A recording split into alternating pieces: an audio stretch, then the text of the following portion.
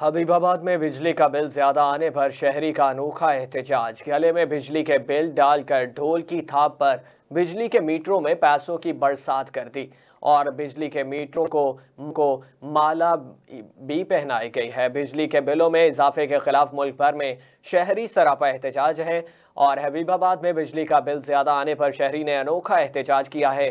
बिजली के बिलों का हार गले में डालकर ढोल की थाप पर बिजली के मीटरों पर नोटों के वार किए और रक्स भी किया है। शहरी ने हुकूमत से मुतालबा किया कि बिलों से जायद और नाजायज टैक्स खत्म और यूनिट कीमतें कम की जाएँ।